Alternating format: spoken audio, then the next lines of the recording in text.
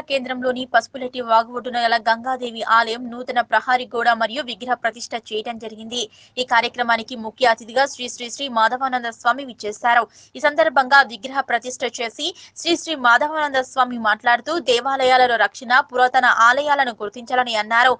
ఆలయాల వల్ల సంస్కృతి సంప్రదాయాలు ప్రపంచానికి తెలిసి ధర్మాన్ని కూడా రక్షించేవారు కావాలన్నారు. అమ్మవారికి ప్రత్యేక పూజలు చేశారని ధ్వజస్తంభ ప్రతిష్టాపన చేశామని తెలిపారు. ప్రజలందరూ కూడా దైవ భక్తితో పాటు ఇతరుల పట్ల ప్రేమను కలిగి ఉండాలన్నారు. ఈ కార్యక్రమంలో గంగపుత్ర సంఘం నాయకులు భక్తులు అధిక సంఖ్యలో పాల్గొన్నారు.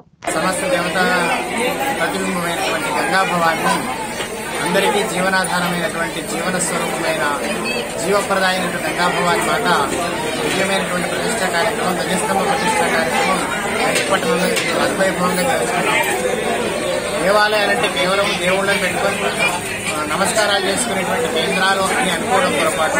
అవి జీవన ప్రతిబింబ దర్పణ కేంద్రాలు. ఆ ప్ర జీవనాలను ఏ విధంగా ఉండాలి? సంస్కృతి సంప్రదాయాలు ఏ విధంగా ఉండాలి? మనం అందరం కలిసి ఏ విధంగా జీవించాలి అనేటువంటి ఒక వ్యక్తిత్వ వికాస కేంద్రాలు దేవాలయాలు. అటువంటి దేవాలయాల ప్రతిష్ట చేయడమే కాక దేవతా స్వరూపాలను ఆరాధించడమే కాక ప్రపంచంలో ప్రతి ప్రాణి పట్ల ప్రేమగా ఉన్నప్పుడు మాత్రమే నిజమైన దేవాలయం కట్టుకున్న వాళ్ళం అవుతాం. మనం దేవుడికి గుడి కడుతున్నాం కానీ దేవుడు మన చూసుకునేందుకు మంచిగా ఉండడం ప్రేమగా మాట్లాడడం అందరితో కలిసిమెలిసి ఉండడం అసూయా ద్వేషాలు లేకుండా ఉండడం ఇవన్నీ కూడా అలవర్చుకోవాలి. దానికి గంగాభవాన్ని మాత్రం తప్పనిసరిగా మనకు ఆశీర్వదిస్తుందని కూడా ప్రేమతో జీవిస్తారు.